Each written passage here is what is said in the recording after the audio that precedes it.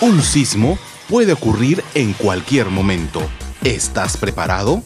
Participa en el simulacro por sismo a nivel nacional, jueves 16 de junio a las 4 de la tarde. Defensa Civil, tarea de todos. Municipalidad Provincial de Abancay, la fuerza del desarrollo.